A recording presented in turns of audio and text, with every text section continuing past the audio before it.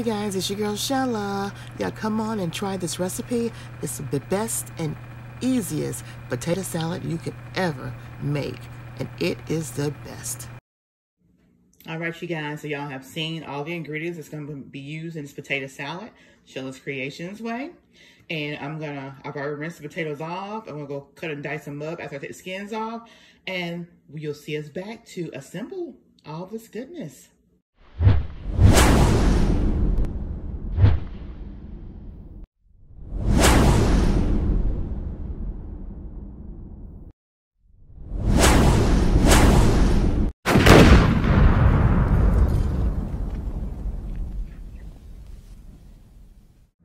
Right, now, so the potatoes are all skinned and diced up.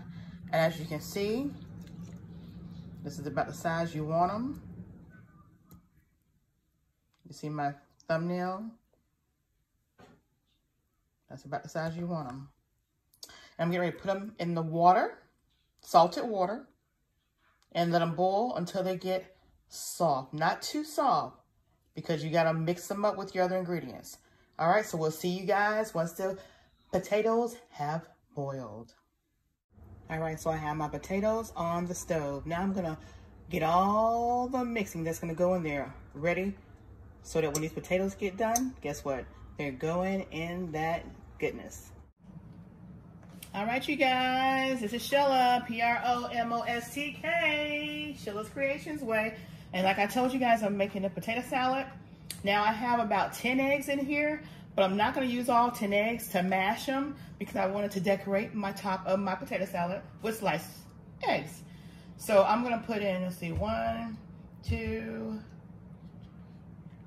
three,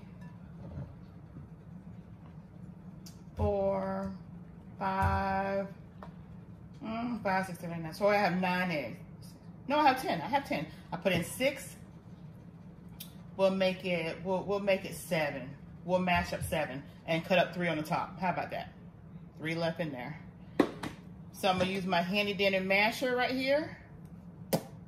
Right there. I'm gonna mash these eggs up. And it doesn't take any time to mash them up. It's egg one. Egg two. Egg three.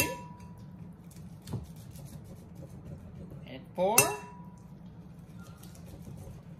egg five, and egg six.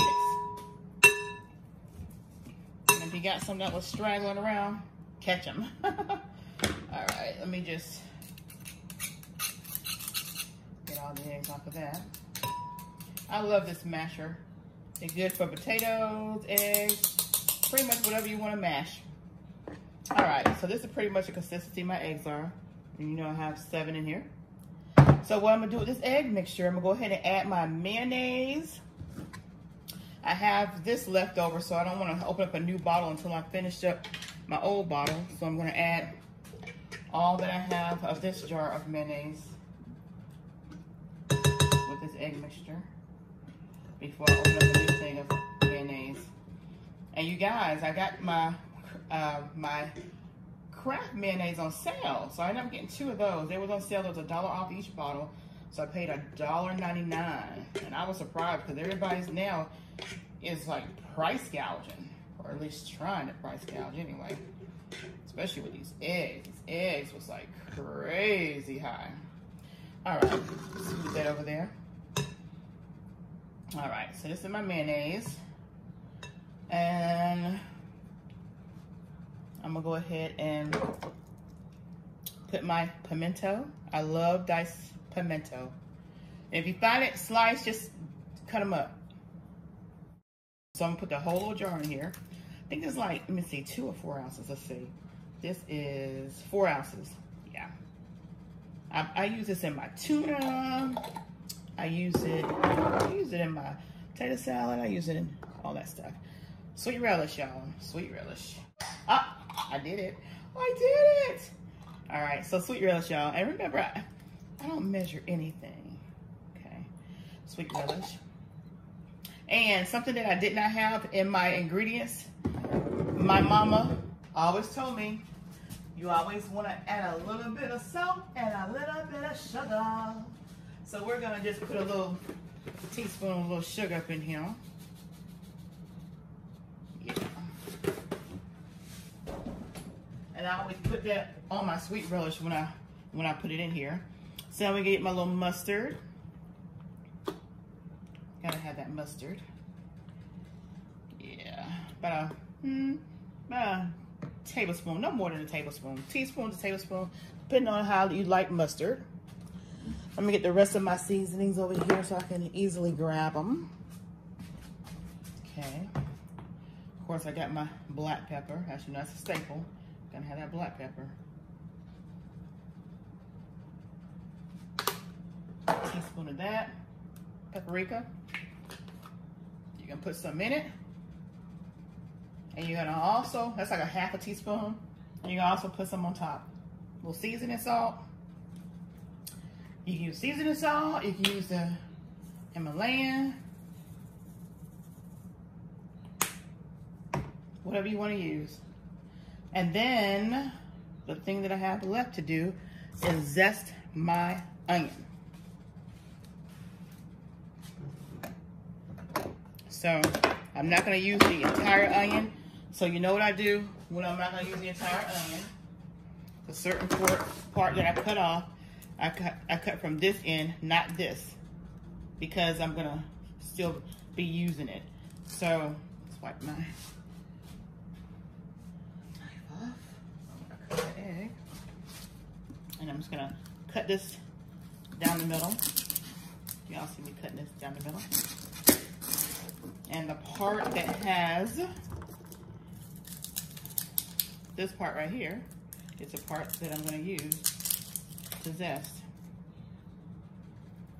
I'm just going to pull this off. I don't need that. And you know, a lot of people don't like the crunch of onion or don't like raw onion in their potato salad. And the ones that don't, I like to give it that flavor. It's even better than using the onion powder. So I'm just gonna zest, ooh, well, I just wanna go right in there, don't you? Uh, it's okay. Gonna zest this onion. And y'all can see all that goodness dropping down in the bowl. All right, so we're just gonna zest that onion. Get all that good old juice from the onion in this potato salad. Yes. You can zest. It doesn't matter how much you zest in there. Like I say, this is going to have a stronger flavor than the onion powder. So all the freshness that you can get out of it, take advantage of it. And then I am going to dice up real finely some pieces of this onion because we like we like onion in our potato salad. Some people don't. Now, if someone had an allergic reaction, of course, I wouldn't even do this.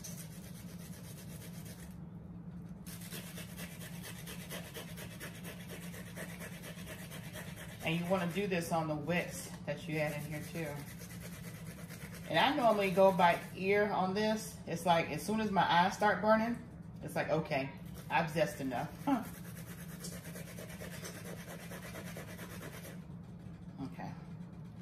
With all that. Okay. So now, what I'll do now is I'll finish dicing up this onion. Yeah, dice up this onion and put the rest of this diced onion in the potato salad mix. Hope you can see that. I'm gonna finally slice it up.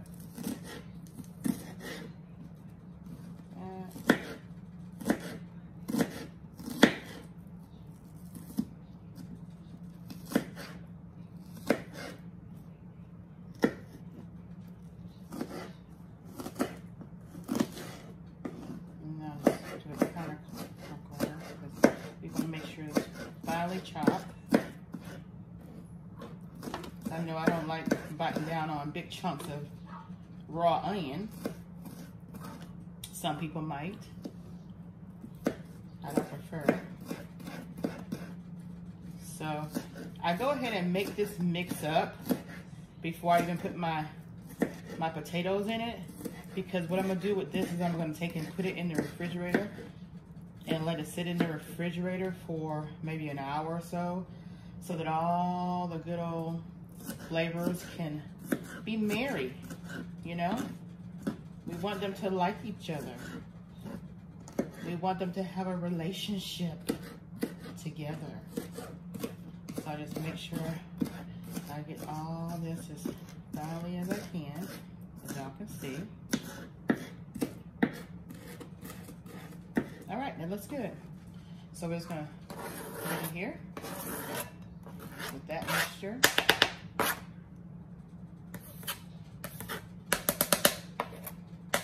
All right, so that looks like everything that's gonna go in my bowl. Make sure I get out my onion. There we go.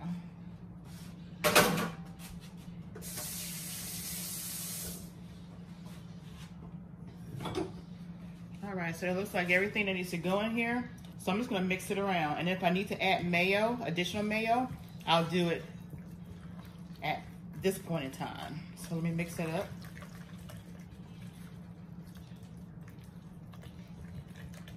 All right, so the wet ingredients looks pretty good. And I'm gonna taste it right now. Mmm, very good. All right, so I'm gonna go ahead and refrigerate this. I'm gonna let y'all see the consistency. Y'all see the consistency of that? That's how you want it. Because once you add the potatoes to it, it's gonna suck up all this goodness. All right, so I'm gonna put this in the refrigerator and we'll be back once the potatoes are done and the, the, the mixture has married. All right, saran wrap sealed and ready for the refrigerator.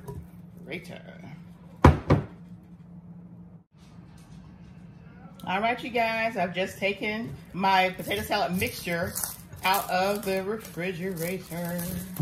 And now I'm gonna add my potatoes that I have drained and cooled off. So these are my potatoes, you guys. I'm gonna dump that over in the bowl. Still a little steamy, but I like mine a little warm when I first make it anyway. So I let it cool off a little bit, but not to where it was, you know, too cold. And we're just gonna mix this up in the bowl. As you can see that creamy mixture, how it marries with the potatoes.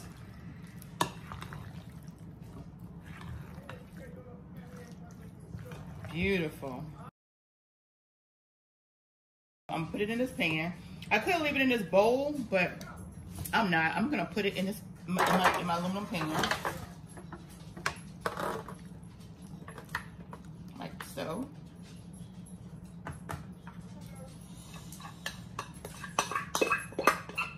Make sure I get all my all my goodness out of the bowl. Alright. And I'm telling you, that mixture be so good. You can just eat that mixture all by itself without adding nothing in it. Alright, so take the potato salad and just smear it around. Mm. Like so.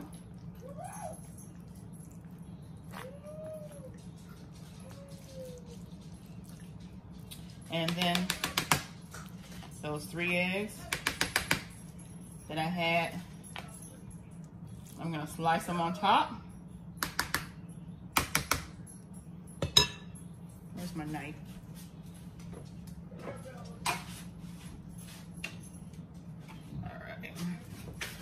my paprika and then got my three eggs. So I'm gonna take my three eggs, I'm just gonna slice them on top of this mound of goodness.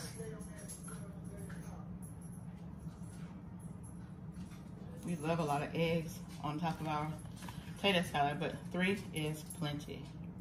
These are large eggs too. So yeah, three is plenty.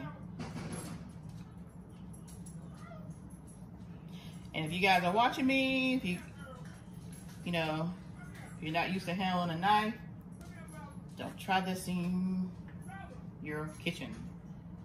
Holding an egg in your hand and slicing down. My mom used to always get on to me about doing that. You're gonna cut your hand. And I have, at times I have. Not paying attention to what I was doing. I have. Alright. So, there are my eggs on top. Now what I'm gonna do now, my hand off here.